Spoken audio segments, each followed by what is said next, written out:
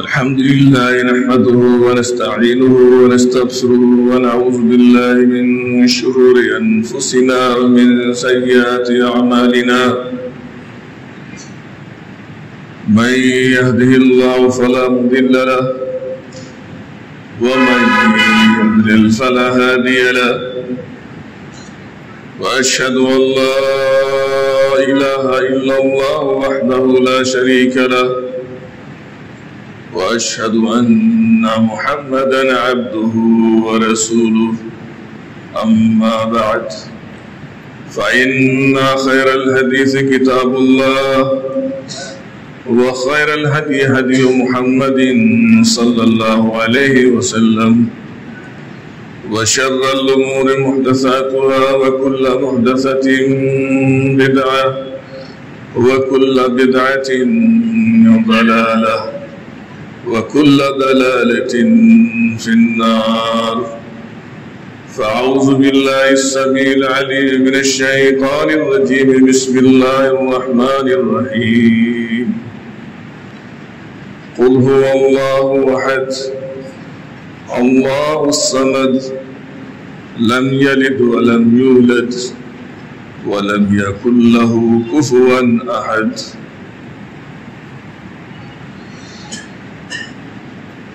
اسلامی و دینی بھائیوں، عزیز طلبہ محترم اساتذہ کرام ملت کی ماں اور بہنوں، پچھلے جمعے کے خطبے میں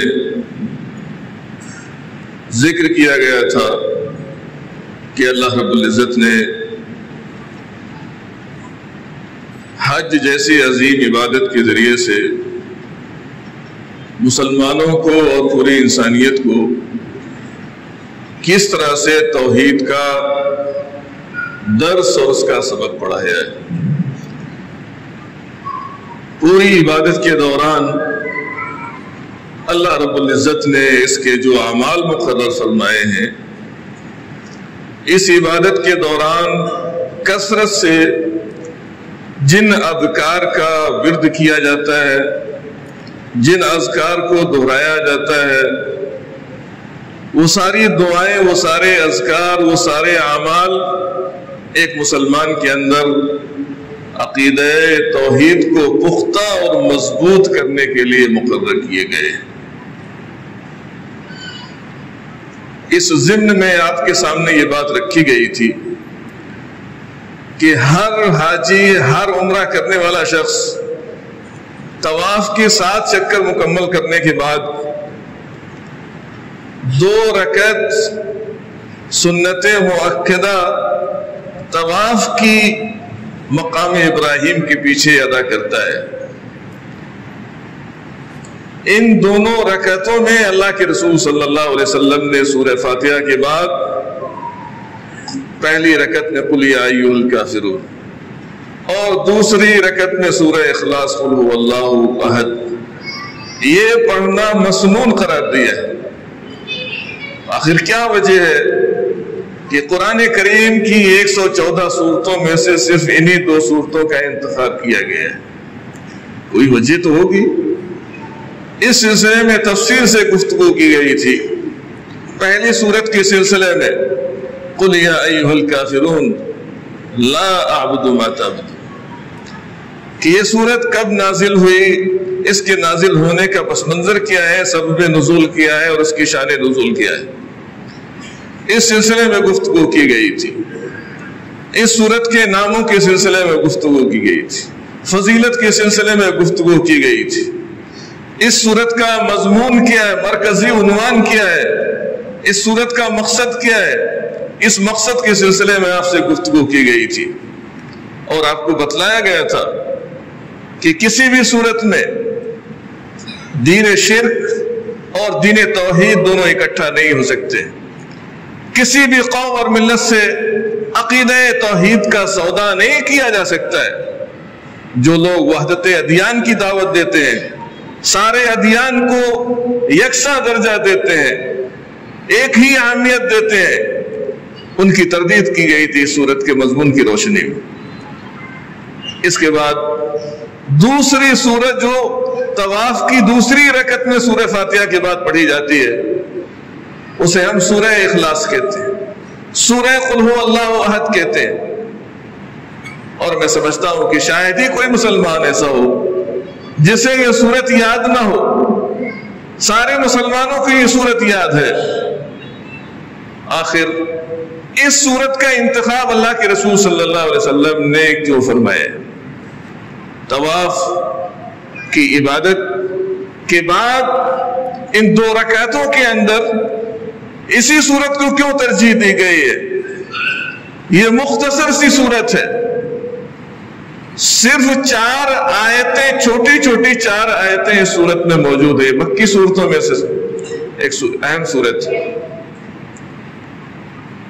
لیکن ان چار آیتوں میں اللہ رب العزت نے جس طرح سے اللہ رب العزت کی وحدانیت کا ذکر کیا ہے توحید کا ذکر کیا ہے۔ اتنے جامع انداز میں اللہ رب العزت کی صفات کا تذکرہ کسی اور صورت میں آپ کو نہیں ملے گا۔ اسی لیے اللہ کے رسول صلی اللہ علیہ وسلم نے اس صورت کو قرآن کے کا تہائی حصہ قرار دیا کہ قرآن کے تہائی حصے کے برابر ہے یہ صورت۔ تہائی حصہ قرآن کا کتنے پارے ہوتے ہیں؟ دس پارے ہوتے ہیں۔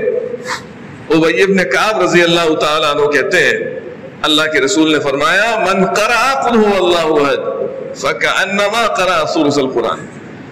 جس نے خلو اللہ وحد کو پڑھ لیا، اس نے گویا کہ قرآن کا ایک تہائی حصہ پڑھ لیا۔ دس پارے پڑھنے کا عجر و ثواب جو ملتا ہے، وہ عجر و ثواب اللہ رب العزت اس مختصر سی صورت کے پڑھنے پر عطا فرماتا ہے۔ اللہ کے رسول صلی اللہ علیہ وسلم نے بے شمار مواقع ہیں جہاں پر اس صورت کے پڑھنے کی تلقین فرمائی ہے۔ میں تفصیل میں نہیں جانا چاہتا۔ انہی میں سے اللہ کے رسول صلی اللہ علیہ وسلم نے اپنے صحابہ سے کہا کہ کیا تم لوگ اس بات سے عاجز ہو؟ اتنا نہیں کر سکتے کہ قرآن کا ایک تہائی حصہ پڑھ سکو۔ صحابہ پریشان ہو گئے کہ رات کو سونے سے پہلے یا رات میں قرآن کا تہائی حصہ پڑھ کے سونا۔ یہ آسان کام نہیں ہے۔ دس پارے پڑھنا کتنا وقت لگے گا دس پارے پڑھنے میں؟ ہر شخص کے بس کی بات نہیں ہے۔ اللہ کے رسول صلی اللہ علیہ وسلم نے فرمایا، پریشان ہونے کی ضرورت نہیں ہے۔ صرف یہ چھوٹی سی صورت پڑھ لو تو اللہ تعالیٰ تم کو دس پارے کا آج رہتا فرمائے۔ ایک صحابی رسول، ان کو اتنی الفت، اتنی محبت اس صورت سے تھی۔ کہ ہر نماز میں ہر صورت کے بعد اس صورت کو ضرور پڑھا کرتے تھے۔ بعض صحابہ کو ان کے اوپر اعتراض ہوا کہ آپ کیوں پڑھتے ہیں؟ شکایت اللہ کے رسول صلی اللہ علیہ وسلم تک پہنچی۔ اللہ کے رسول نے صحابی کو حاضر کیا اور ان سے پوچھا کہ کیا وجہ ہے؟ کوئی اور صورت پڑھ لیا کرو، اگر تمہارے ساتھی اس سے راضی نہیں ہے قرآن کی اور بہت ساری صورتیں وہ پڑھ لیا کرو، یہی صورت کیوں پڑھتے ہو؟ کہا کہ مجھے اس صورت سے محبت ہے، اس لیے کہ اس میں رحمان کی صفات بیان کی گئی۔ ہے اللہ کی صفات کا تذکرہ کیا گیا ہے۔ کہا کہ اللہ تعالیٰ تمہاری اس محبت کی وجہ سے تمہیں جنت میں داخل کرے گا۔ جنت میں داخل ہونے کا ذریعہ اور سبب ہے۔ یہ چھوٹی سی صورت یہ مختصر سی صورت چار آیتیں جو ہمیں یاد ہیں، لیکن ہم اس کا اہتمام نہیں کرتے۔ اور اس سے زیادہ اہم بات یہ ہے کہ اس کا مضمون کو بھی سمجھنے کی کوشش کریں کہ اس کا مضمون کیا ہے؟ مرکزی کردار کیا ہے اس صورت کا اس کو بھی سمجھنا چاہیے۔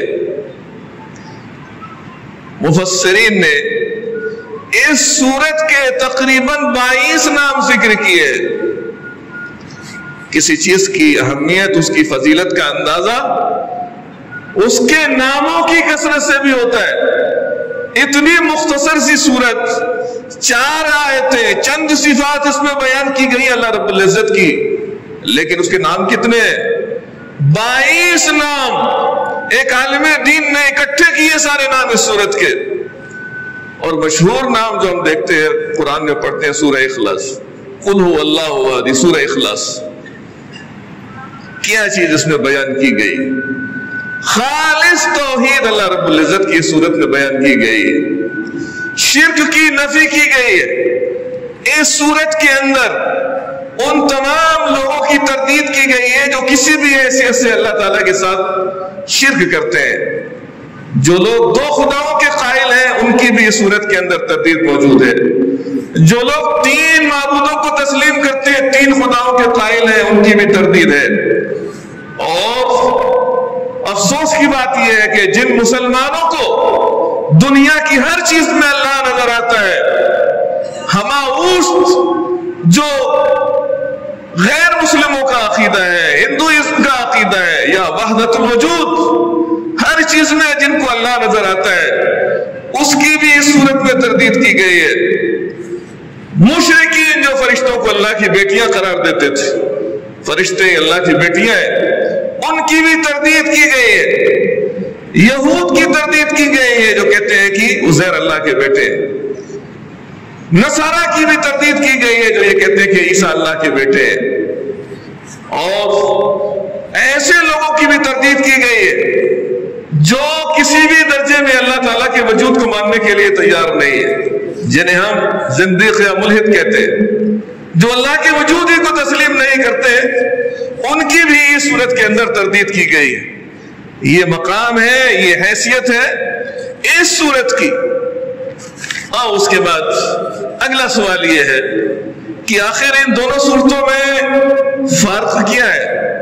سورہ قلیہ الکافرون اور سورہ اخلاص دونوں میں فرق کیا ہے۔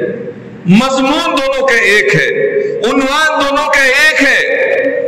مسئلہ توحید دونوں میں بیان کیا گیا ہے، دونوں صورتوں میں فرق کیا ہے مجمل طور پر۔ اختصار کے ساتھ علماء عقیدے کے بعد میں توحید کی دو قسمیں ذکر کرتے ہیں اور تفصیلی طور سے تین قسمیں بیان کی جاتی ہے آئیے دیکھیے کون سی صورت میں توحید کی کون سی چیز بیان کی گئی ہے۔ توحید کی دو قسمیں کیا ہیں؟ پہلی قسم ہے توحید عملی۔ دوسری قسم ہے توحید علمی یا قولی؟ توحید عملی، اسی کو توحید عبادت بھی کہا جاتا ہے۔ اسی کو توحید الوحیت بھی کہا جاتا ہے۔ اسی کو توحید قصد و طلب بھی کہا جاتا ہے۔ یہ چار نام ہیں۔ ایک ہی چیز کے چار نام ہیں۔ یہ توحید عملی کی صورت میں بیان کی گئی ہے۔ سورہ قل یا ایوہ الکافرون کے اندر توحید عملی بیان کی گئی۔ توحید الوحیت توحید عبادت کا بیان ہے کہ اللہ کے علاوہ کسی اور کے لیے عبادت جائز اور درست نہیں ہے۔ یہ توحید بیان کی گئی۔ اور توحید کی جو دوسری قسم ہے، توحید علمی علم سے اس کا تعلق ہے۔ اسی کو توحید نظری بھی کہا جاتا ہے۔ توحید معرفت اور اس بات بھی کہا جاتا ہے۔ توحید ربوبیت، توحید اسماء و صفات بھی کہا جاتا ہے۔ یہ چار نام ہیں ایک ہی چیز کے۔ توحید عملی کے نام ہے یہ توحید علمی کے نام ہے یہ توحید علمی، یہ کہاں بیان کی گئی ہے؟ یہ سورہ اخلاص کا مرکزی عنوان ہے۔ علمی توحید اس کے اندر بیان کی گئی ہے۔ یہ فرق تھا دونوں صورتوں کے درمیان۔ کہ اللہ رب العزت نے ان دونوں صورتوں کے اندر توحید عقید توحید کو مکمل طور سے بیان فرمایا ہے اور ہر طرح کے شرک کی نفی کی گئی ہے۔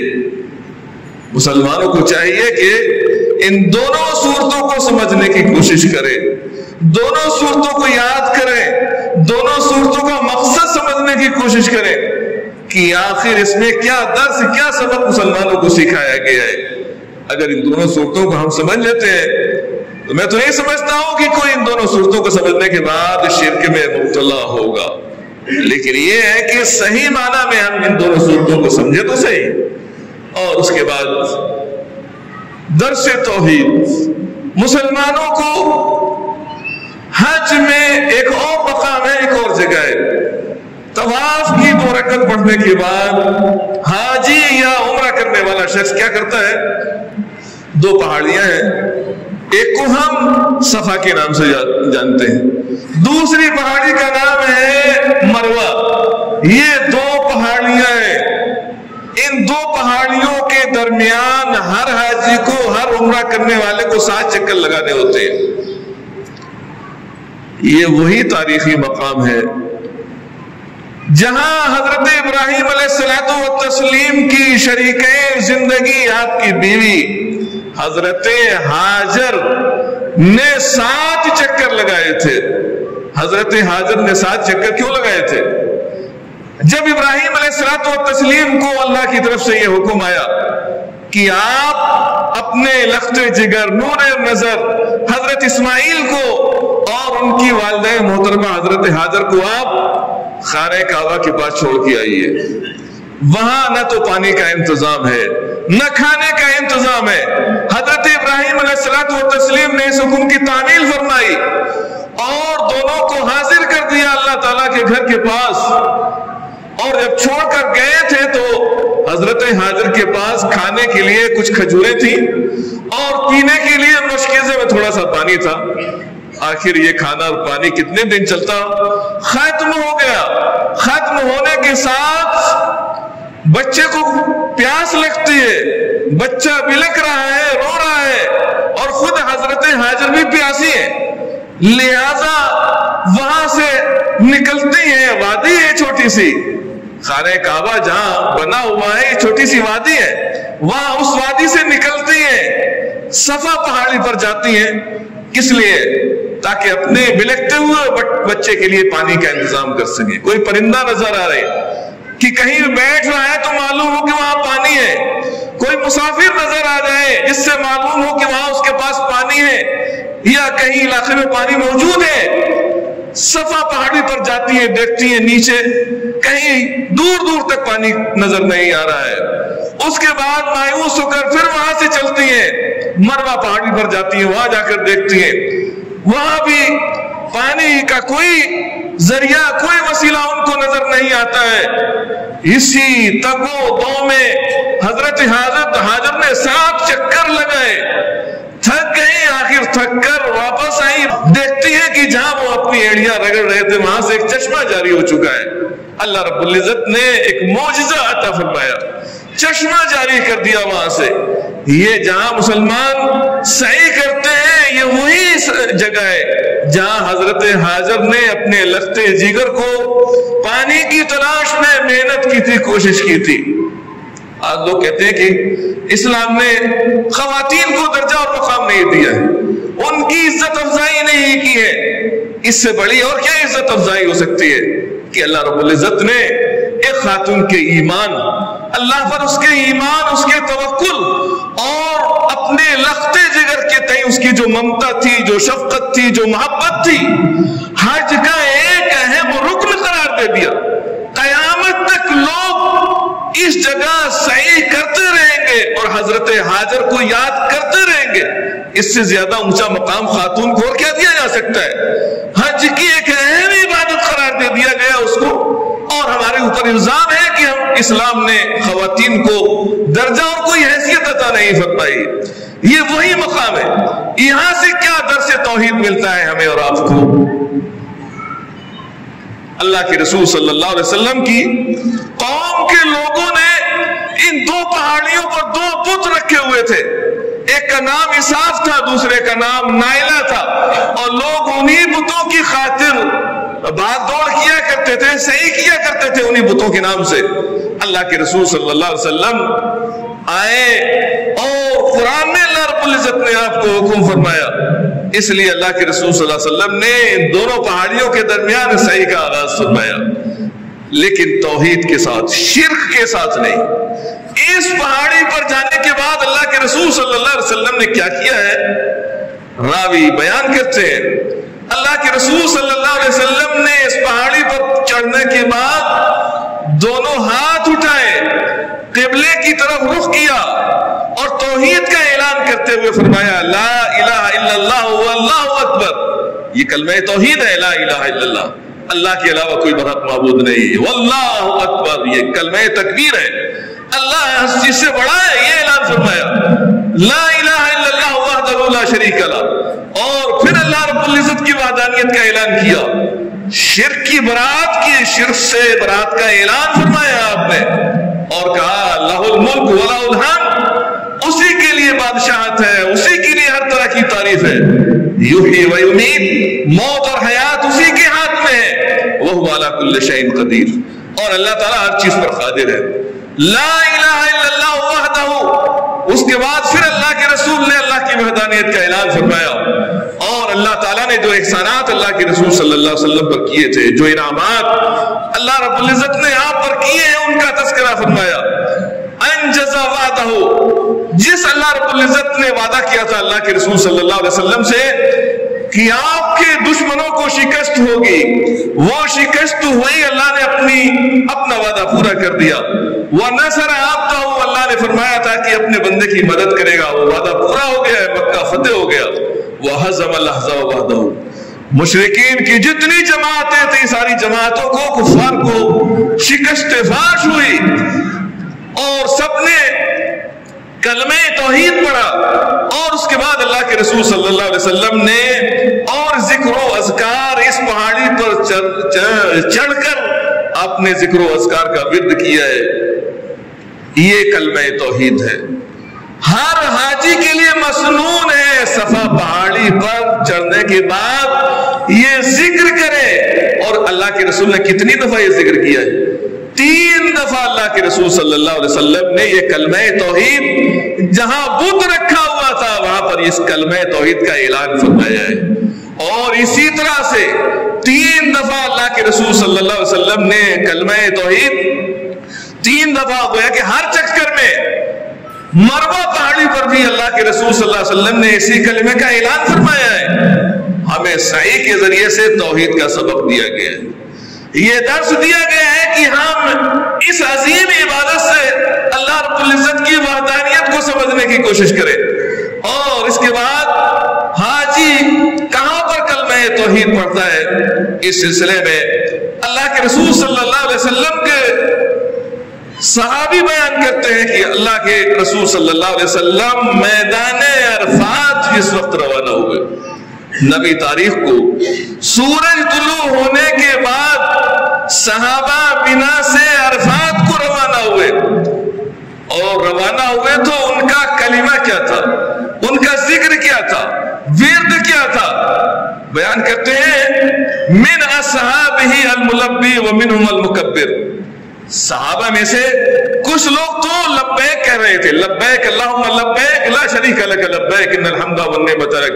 اور میں نے تفسیر سے اس کلمے کے سلسلے میں گفتگو کی ہے کہ اس میں بھی لا الہ الا اللہ کا معنی بیان کیا گیا ہے۔ صحابہ میں سے کچھ لوگ لبیک کہہ رہے تھے، کچھ لوگ اللہ اکبر کی صدائیں بلند کر رہے تھے۔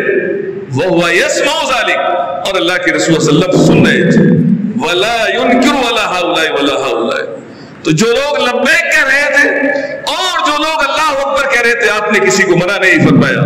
دونوں چیزیں جائز ہے اسی کو ابن عمر نے اس طرح سے بیان کیا ہے۔ غدونا مع رسول اللہ صلی اللہ علیہ وسلم من منا الى عرفات، منا الملبی و منا المکبر۔ کہ ہم منا سے عرفات کو روانہ ہوئے۔ تو ہم میں سے کچھ لوگ تلبیہ پکار رہے تھے، کچھ لوگ اللہ کی کبریائی کا نعرہ بلند کیے ہوئے تھے۔ اور عرفہ پہنچنے کے بعد حاجی کیا کرتا ہے؟ کتنا اہم مقام ہے، کتنی اہم جگہ ہے۔ اللہ کے رسول صلی اللہ علیہ وسلم نے فرمایا، الحج عرفہ، حج عرفہ ہی ہے۔ یہ حج کا سب سے بڑا رکن اس کو قرار دیا گیا۔ بغیر اس کے کسی کا حج مکمل ہو ہی نہیں سکتا ہے۔ حج کا تصور ہی نہیں کیا جا سکتا ہے۔ اس موقع سے اللہ کے رسول صلی اللہ علیہ وسلم نے کیا کیا ہے؟ یہاں پر زیادہ سے زیادہ دعا کی ترغیب دلائی گئی حاجی کو۔ اور اس ترغیب کے لیے اللہ کے رسول صلی اللہ علیہ وسلم نے ظہر اور عصر کی نماز ایک ساتھ پڑھی ہے تاکہ حاجی فارغ ہو جائے۔ اس کو وقت ملے، وہ اللہ کو زیادہ سے زیادہ یاد کرے۔ دعا توحید کے دلائل میں سے خاص دلیل ہے کہ بندہ یہ سمجھتا ہے کہ ہاں میری کوئی ضرورت پوری کرنے والا بھی میری کوئی سننے والا بھی میں کسی کے سامنے اپنی حاجت اور ضرورت رکھ سکوں، ایسی کوئی ہستی موجود ہے؟ یہ توحید کی خاص دلیل ہے، خاص علامت ہے، خاص پہچان ہے۔ اللہ کے رسول نے میدان عرفات میں کیا دعا فرمائی ہے؟ خاص دعا، وہ کلمہ توحید ہے۔ امام ترمیزی نے عبداللہ ابن عام رضی اللہ تعالیٰ عنہ سے روایت کی ہے، کہتے ہیں، ان نبی صلی اللہ علیہ وسلم قالا خیر الدعاء، دعا یوم عرفہ۔ سب سے بہترین دعا عرفہ کے دن کی دعا ہے۔ وہ خیر ما قلت انا والنبیون من قبلی۔ اور یہ سب سے بہترین دعا جو مجھ سے پہلے نبیوں نے بھی کہی ہے اور میں بھی کہتا ہوں۔ وہ دعا کیا ہے؟ اس کے الفاظ کیا ہے اس کے الفاظ بھی یہی ہیں۔ لا الہ الا اللہ وحدہ لا شریک لا۔ لہ الملک ولا الحمد وهو على كل شيء قدیر۔ یہ کلمہ توحید یہاں بھی حاجی کلمہ توحید ہی کا ورد کرتا ہے۔ اور اللہ رب العزت کو یاد کرتا ہے۔ اور بار بار اس کا یادہ کرتا ہے۔ کب تک کرتا ہے؟ زوال شمس سے لے کر غروب آفتاب تک۔ جب تک سورج غروب نہ ہو جائے۔ وہیں پر ان دعاؤں کا اذکار کا ورد کرتا ہے۔ یہی کلمہ توحید اور اس کے ساتھ اور دیگر دعائیں دہراتا رہتا ہے۔ گویا کہ پورا آدھا دن حاجی کو یہ وقت دیا گیا ہے کہ زیادہ سے زیادہ اللہ کی توحید، اس کی کبریائی، اس کی بڑائی کا اعلان کرتا رہے۔ ہم نے عرفہ سے کیا سیکھا ہے؟ یہی سیکھا ہے کہ اللہ تعالیٰ نے اس میں توحید کا سبق ہم سب کو سکھایا ہے۔ اور آگے چلتے ہیں عرفہ سے۔ حجاج کرام روانہ ہوتے ہیں، کہاں جاتے ہیں؟ مزدلفہ میں جاتے ہیں۔ ایک مقام ہے مینا سے پہلے، عرفہ اور مزدلفہ۔ عرفہ اور مینا کے درمیان مقام ہے، مزدلفہ کہا جاتا ہے۔ حاجی کیسے روانہ ہوتے ہیں؟ کیا حالت ہوتی ہے؟ کیا کیفیت ہوتی ہے؟ تلبیہ پکارتے ہوئے روانہ ہوتے ہیں، اللہ کو یاد کرتے ہوئے روانہ ہوتے ہیں۔ اور اس ذکر کا حکم قرآن میں اللہ تعالیٰ نے ذکر فرمایا ہے۔ قرآن میں اس کا حکم آیا ہے۔ اور اللہ کے رسول صلی اللہ علیہ وسلم کے صحابی جابر رضی اللہ تعالیٰ عنہ کہتے ہیں، اللہ کے رسول کے سلسلے میں، حتی اتا المشعر الحرام، فاستقبل القبلة فدعاه وكبره وحلله ووحده فلم يزل واقفا اسفر جدا. اللہ کے رسول صلی اللہ علیہ وسلم مشعر حرام یعنی مزدلفہ میں آپ پہنچے، وہاں پہنچنے کے بعد آپ نے کیا کیا ہے؟ کہا، فاستقبل القبلہ، قبلے کا رخ کیا اللہ کے رسول نے۔ فدعاه وہاں پر توحید کی جو خاص پہچان اور علامت ہے، دعا اللہ کے لیے، اللہ سے ہم دعا کریں۔ اللہ کے رسول نے دعا کے لیے ہاتھ اٹھائے۔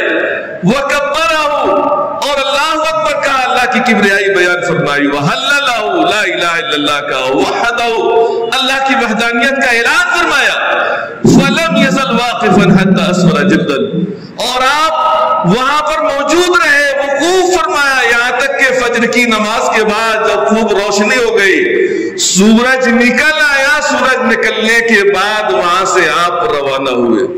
تو یہ مقام مزدلفہ ہے۔ یہاں بھی وہی چیزیں اللہ کے رسول صلی اللہ علیہ وسلم نے انجام دی ہے جن میں خالص اللہ کی توحید کا ذکر ہے۔ اس کے علاوہ اور کوئی چیز نہیں۔ اور اس کے بعد جب اللہ کے رسول صلی اللہ علیہ وسلم مزدلفہ سے مینا تشریف لے گئے، وہاں آپ نے کیا کیا ہے؟ راستے میں کلمے کا ورد کرتے رہے لبیک اللہم لبیک اللہ شریک اللہ کا لبیک کب تک اللہ کے رسول نے یہ ورد فرمایا ہے۔ جب تک آپ بڑے شیطان کے پاس نہیں پہنچ گئے، لبیک اللہم، لبیک لبیک اللہ شریک اللہ کا لبیک کسی کا ورد کرتے رہے۔ فضل ابن عباس کہتے ہیں، ان النبی صلی اللہ علیہ وسلم لم یزل یلبی حتی رمل جبرہ اللہ کے رسول صلی اللہ علیہ وسلم بڑے شیطان کو کنکری مارنے تک آپ تلبیہ کہتے رہے۔ کنکری مارنے کے ساتھ آپ نے تلبیہ بند کر دیا۔ اور کنکری کیسے ماری اللہ کے رسول صلی اللہ علیہ وسلم نے؟ یہ غور کرنے کی بات ہے۔ حدیث میں اس کا بھی ذکر ہے۔ جابر رضی اللہ تعالی عنہ، جنہوں نے اللہ کے رسول کا مکمل حج بیان فرمایا، کہتے ہیں یہ کی فعل نبی صلی اللہ علیہ وسلم ان الجمرات۔ اللہ کے رسول نے کنکریاں کیسے ماری ہیں؟ اس کی کیفیت کیا ہے؟ کہتے ہیں، اللہ کے رسول نے کنکریاں ماری ہیں۔ کیسے؟ کہتے ہیں، فرماہا بسبع حسیات۔ اللہ کے رسول صلی اللہ علیہ وسلم نے سات کنکریاں ماری ہیں شیطان کو۔ یکبر ما کل حسات منہا۔ ہر کنکری کے ساتھ اللہ کے رسول صلی اللہ علیہ وسلم تکبیر پکارتے تھے۔ کیا کہتے تھے؟ اللہ اکبر۔ اللہ تعالیٰ ہر چیز سے بڑا ہے۔ علماء نے لکھا ہے کہ اس کی حکمت کیا ہے، اس کا فلسفہ کیا ہے؟ اس کی حکمت اور فلسفہ شیطان کو ذلیل کرنا ہے، شیطان کو رسوا کرنا ہے۔ اللہ کی بڑائی بیان کرنی ہے، اس کی کبریائی کا اعلان کرنا ہے، شیطان کو ذلیل کرنا ہے۔ اور یہ وہی مقام ہے جہاں شیطان نے ابراہیم علیہ السلام کو جب وہ اسماعیل کو ذبح کرنے کے لیے لے جا رہے تو بہکانے کی کوشش کی تھی۔ کتنی کنکریاں مارتا ہے حاجی؟ پہلے دس تاریخ کو سات کنکریاں مارتا ہے، اور اس کے بعد جو تین دن آتے ہیں، ان تین دنوں میں ہر روز اکیس کنکریاں مارتا ہے، تین دنوں میں ترسٹھ کنکریاں مارتا ہے۔ تینسٹھ اور سات، یہ ستر کنکریاں مانی جاتی ہیں۔ ہر کنکری کے وقت حاجی کا یہ تصور ہوتا ہے کہ وہ شیطان کو ذلیل اور رسوا کر رہا ہے، اللہ کی کبریائی بلند کر رہا ہے۔ یہ مقصد ہے کنکری مارنے کا۔ کیا ہم نے یہ محسوس کیا ہے ہم حج کرنے کے لیے گئے؟ شیطان ایک علامت وہاں علامات بنا دی گئی ہے۔ اور کسی عالم دین نے حج کے لطائف میں سے ایک لطیفہ بھی ذکر کیا ہے۔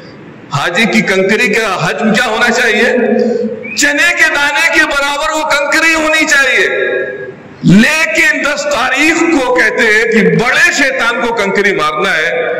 وہ عالم کہتے ہیں کہ ایک شخص کے ہاتھ میں دیکھا کہ بہت بڑا پتھر لیے ہوئے۔ حیرت اور تعجب ان کو ہوئی کہ آخر اتنا بڑا پتھر لے کے یہ شخص کہاں جا رہا ہے؟ اس کو بلایا۔ کوئی ہندوستانی یا پاکستانی رہا ہوگا، پوچھا کہ بتاؤ کہ یہ پتھر لے کے کہاں جا رہے ہو؟ کہا کہ مجھے شیطان کو کنکری مارنی، سب سے بڑا جو شیطان ہے اس کو مارنا ہے۔ کہا کہ بھی اللہ کے رسول صلی اللہ علیہ وسلم نے تو اس کا حج بتایا ہوا ہے، کتنی بڑی ہونی چاہیے، چنے کے دانے کے برابر ہونی چاہیے، یہ چلاؤ گے، مارو گے، وہاں کسی کو لگے گا۔ اور وہاں نہیں گرا جا کے، شیطان کو نہیں لگا، کسی اور کے لگ گیا، تو اس کا تو کام تمام ہو جائے گا۔ کہا، چونکہ بڑے شیطان کو مارنا ہے، اس لیے بڑا پتھر لے کے میں جا رہا ہوں۔ یہ تصور۔ وہاں ایک علامت بنا دی گئی ہے۔ کہ ہاں یہ وہ جگہ ہے، وہ مقام ہے۔ لیکن بندے سے اس وقت بھی توحید کا اعلان کروایا جاتا ہے۔ اللہ تعالیٰ ہر چیز سے بڑا ہے اور شیطان کو، کی رسوائی کا اعلان آپ سے کروایا جاتا ہے۔ اور کنکری مارنے کے بعد حاجی کیا کرتا ہے؟ مینا میں پہنچنے کے بعد، کنکریوں سے فارغ ہونے کے بعد قربانی کا جانور ذبح کرتا ہے۔ اگر حاجی قارن ہے یا متمد ہے، اس کو قربانی کرتے ہیں۔ قربانی اللہ کے لیے کرتا ہے۔ کیا نام لیتا ہے ذبح کرتے وقت؟ بسم اللہ اللہ اکبر۔ یہی توحید ہے۔ بسم اللہ اللہ اکبر کے کہہ کر اپنے جانور کو اللہ کے لیے ذبح کرتا ہے۔ کسی بت کے لیے ذبح نہیں کرتا، کسی درخت کے لیے، کسی قبر والے کے لیے، کسی ولی، کسی بزرگ، کسی جن کے نام پر وہ قربانی نہیں کرتا ہے۔ خالص اللہ کے نام پر قربانی کرتا ہے۔ تو آخر کیا وجہ ہے؟ کہ ہم وہاں تو یہ سیکھ کر آتے ہیں، اللہ کے نام ہی پر قربانی جائز ہے۔ اسی کے نام سے قربانی ہونی چاہیے۔ کیا وجہ ہندوستان میں پہنچنے کے بعد؟ بزرگ کے لیے بھی قربانی کرتے ہیں، ولیوں کے لیے بھی قربانی دیتے ہیں، بتوں کے نام پر بھی قربانیاں کرتے ہیں۔ یہ کیا ہو رہا ہے؟ آخر ہم نے حج کیا ہے تو کیوں حج کیا ہے؟ وہاں کہہ کے آتے ہیں، ہم اللہ کے لیے ہمیشہ قربانی کریں گے۔ اور یہاں آنے کے بعد وہ توحید کا سبب ہم نے بھلایا ہوا ہے، ہم نے سمجھنے کی کوشش ہی نہیں کی ہے۔ یہ تو ہمارا حال ہے۔ اور قربانی کرنے کے بعد کیا کرتا ہے بندہ؟ اپنے بالوں کو منڈواتا ہے۔ یہ بھی اللہ رب العزت کا تقرب حاصل کرنے کے لیے۔ اگر انسان کسی بزرگ کے مزار پہ جا کے بال منڈوائے، کسی مندر میں جا کے بال منڈوائے، یہ حرام ہے، یہ شرک صرف اللہ رب العزت کا تقرب حاصل کرنے کے لیے سر کے بال منڈوانا عبادت کی حیثیت سے وہی جائز ہے۔ کسی اور مقام کو یہ کسی اور جگہ کو یہ مقام دیا جائے، جائز اور درست نہیں ہے ہمارے لیے۔ اور اس کے بعد بندہ کیا کرتا ہے؟ اس کے بعد بندہ چوتھا کام کرتا ہے، طواف خانے کعبہ کا طواف کرتا ہے، حج کا طواف کرتا ہے۔ اور طواف یہ خالص اللہ تعالیٰ کے لیے ہوتا ہے۔ جو ذکر و اذکار اس میں ہوتے ہیں ان کی حیثیت، اس کے علاوہ اور کچھ نہیں کہ اللہ کی بڑائی بیان کی گئی۔ اللہ کی توحید کا ذکر ہے۔ یا بندہ اپنی حاجت و ضرورت اللہ تعالیٰ کے سامنے رکھتا ہے۔ اس کے علاوہ تو کوئی چیز وہاں جا کے نہیں کرتا ہے۔ یہ سبق اس عبادت کے ذریعے سے ہمیں اور آپ کو، سارے مسلمانوں کو، سارے انسانوں کو سکھایا گیا ہے۔ حج کا اختتام کب ہوتا ہے؟ حج کے، کا وقت جب ختم ہوتا ہے بندہ کیا کرتا ہے؟ آخری دیدار کے لیے خانہ کعبہ کا طواف کرنے کے لیے جاتا ہے۔ اس کو طواف ودا کہا جاتا ہے۔ ہر حاجی کے لیے یہ واجب ہے۔ عمرے میں علماء نے لکھا ہے، کہا ہے کہ عمرہ کرنے والوں کے لیے واجب نہیں ہے۔ لیکن حج کرنے والوں کے لیے یہ واجب ہے لازمی ہے خانہ کعبہ کا طواف کرنا الوداعی طواف ہوتا ہے اور بندہ کیا کرتا ہے طواف کرتا ہے طواف کے بعد دو رکعت نماز ہے۔ طواف کی اور اس کے اندر دونوں رکعتوں میں۔ قل یا ایوہ الکافرون قل ہو اللہ وحد کے ذریعے سے۔ اپنے توحید کے عہد اور اس کے پیمان کو پختہ کرتا ہے کہ وہ زندگی میں کسی اللہ تعالیٰ کے ساتھ کسی کو شریک نہیں ٹھہرائے گا۔ نہ اس کی عبادت میں کسی کو شریک ٹھہرائے گا۔ نہ اس کے افعال میں کسی کو شریک ٹھہرائے گا۔ نہ اس کے اسماء اور صفات میں کسی کو شریک ٹھہرائے گا۔ یہ اعلان کرتا ہے، حج کی ابتدا کہاں سے ہوئی تھی؟ ابتدا حج کی توحید سے ہوئی تھی۔ لبیک اللہم، لبیک لبیک اللہ شریک لک، لبیک یہاں سے حج کی ابتدا ہوتی ہے۔ اور اختتام حج کا طواف کی دو رکعتوں کے بعد ہوتا ہے جو دونوں صورتیں سورہ اخلاص ہے، سورہ توحید ہے، ان پر اختتام ہوتا ہے ہوتا ہے۔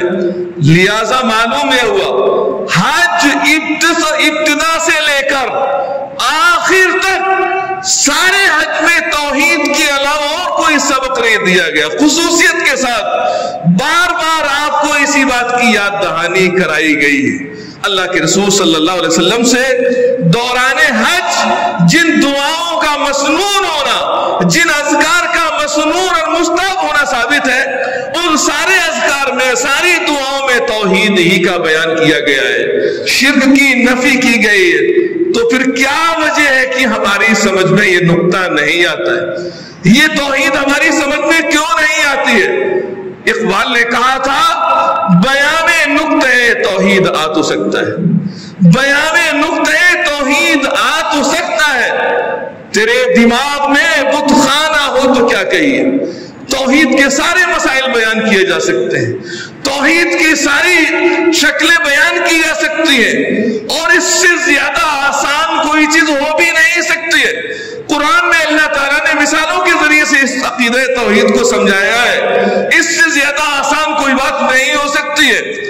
اچھے سے اچھے اسلوب میں، مختصر سے مختصر الفاظ میں اللہ کی وحدانیت کا اعلان بیان کرنا ممکن ہے، لیکن مسلمانوں کے دماغ میں بت خانہ بنا ہوا ہے، بت بھرے ہوئے اپنے نفس کی عبادت کرتے ہیں، قبروں کی عبادت کرتے ہیں، ولیوں کی عبادت کرتے ہیں، اور نہ جانے کن کی چیزوں کی عبادت کرتے ہیں۔ کیا وجہ ہے کہ ہماری سمجھ میں توحید نہیں آ رہی ہے؟ اللہ رب العزت سے دعا ہے کہ اللہ تعالیٰ مسلمانوں کے عقائد کی اصلاح فرمائے۔ اور جو عبادات اللہ رب العزت نے ہمارے اوپر فرض کی ہیں ان کے مقاصد کو سمجھنے کی توفیق عطا فرمائے۔ خصوصیت کے ساتھ دونوں صورتیں مختصر انداز میں قل ہو اللہ وحد قل یا ایو الکافرون۔ اس کے ترجمے کو، اس کے معنی کو، اس کے مفہوم کو اور ان دونوں صورتوں کے مقاصد کو سمجھنے کی توفیق عطا فرمائے تاکہ ہماری ہر عبادت خالص اللہ رب العزت کے لیے ہو سکے وآخر دعوانا الحمدللہ رب العالمين